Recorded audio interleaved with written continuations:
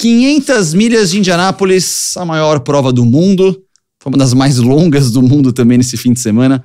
Mas valeu a pena. Mas valeu a pena ainda. Nossa, o que, que foi aquilo? A gente comentou, né? Assim que terminou a prova, foi. Eu, eu tirei o meu, meu fone, olhei para você.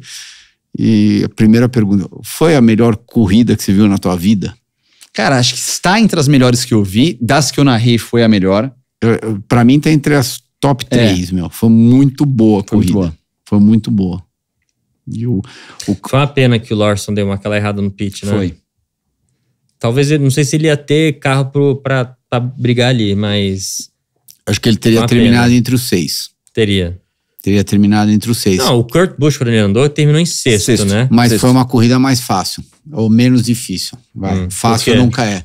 Porque ela estava mais passada. Ela, ela, o, o que me chamou a atenção de ontem foi. é que qualquer momento que dava verde, meu, o pessoal tava se pegando meio que no bom sentido, tava todo mundo agressivo. Desde a largada. Desde a largada. É. E geralmente essa agressividade, ela acaba entrando muito mais tarde na corrida. Uhum. Tanto que eu, no começo, eu achei até estranho, eu fiquei até meio sem saber o que falar, né? Se, se era normal.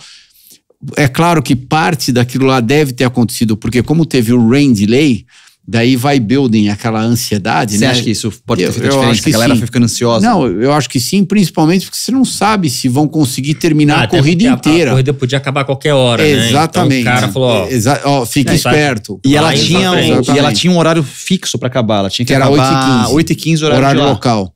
Não tinha horário mas, pra acabar. Mas, por exemplo, se viesse outra chuva, Sim. que nem ele comentou que poderia acabar a qualquer hora, cê, é claro que você quer se posicionar da melhor uhum. maneira possível, o mais rápido possível, né?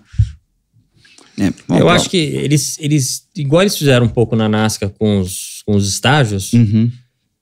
porque a Indy realmente, muitos anos, ela ficou uma corrida de assistir só as últimas 20, 30 voltas, né? Porque as primeiras.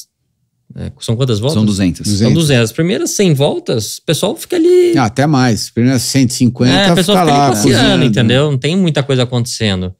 Então, eu não sei se vale a pena fazer algum formato que o cara realmente queira ficar na frente, né? Porque o cara fica cozinhando, fica ah, entre os 10 ali, na hora uhum. certa ele vai para frente. Que ah, realmente o que a Cuida pegou mesmo foram as últimas 30, 40 voltas, foi onde. Ah, mas mesmo no começo ah, da é. corrida. As últimas 60 meu, foram, Eles largaram. É. As, Bom, uh, tá, hora já começou eles... com a largada da confusão. Vamos então, falar de alguns detalhes. Primeira curva. Não, tudo já. bem, mas aquilo pode acontecer em incidente. Eu tô falando pela disputa. Tá. Passou, sei lá, cinco, seis voltas, tinha carro passando o carro por fora, é. sabe? Realmente se colocando numa posição de risco você claramente não faria isso num, evento do passado. Você esperaria para você se colocar numa posição de risco no final da corrida. Prova que já marcou, como a gente disse, um atraso grande por causa da chuva, mas o pessoal ali ban bancou realmente a permanência e realização da corrida. Alguns lances, o Christian. Primeira largada, o Blomqvist, naquela largada na primeira curva que tirou o Ericsson e tirou o Pietro também. Ah, falar o quê? Ele, ele viajou, ele inclusive, a hora que ele saiu lá do Medical Center, admitiu, falou, eu errei, ele estava abaixo demais, a hora que ele está abaixo demais, na velocidade que ele está, mesmo sendo a primeira volta, a primeira curva, tudo... A hora pegou que, o apron? É, pegou o apron, bom, eu não, eu não preciso ir muito longe, você sabe exatamente o que acontece naquelas velocidades. O carro ficou de lado, a hora que ficou de lado, gerou aquela, aquela bagunça toda atrás dele. Eu achei que o Pietro fosse escapar, né? ele veio vindo de ré. Eu falei, nossa. Ah, depois que rodou. Depois que rodou. Tá. Ele tava de ré, eu falei, nossa, eu, eu, acho que ele vai se dar bem. Daí ele. Eu, eu já tava pensando, antes de ver ele encostar no muro, né? Eu já tava pensando, ele vai parar o carro, vai engatar a primeira, vai voltar pro box, uhum. trocar de pneu, bandeira amarela, não vai perder volta, tá dentro da corrida. Tudo isso eu pensei em, sei lá, um segundo antes dele bater. E ele quase escapou duas vezes, né?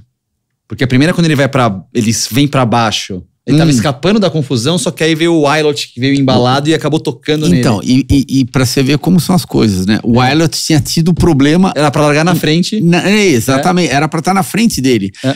Na volta de apresentação. Tanto que ele entrou no box, arrumaram o problema, devem ter resetado alguma uhum. coisa, arrumaram o problema e o Wilot voltou pro final da fila. E aí acabou tocando é. no Pietro, lá uma confusão na largada.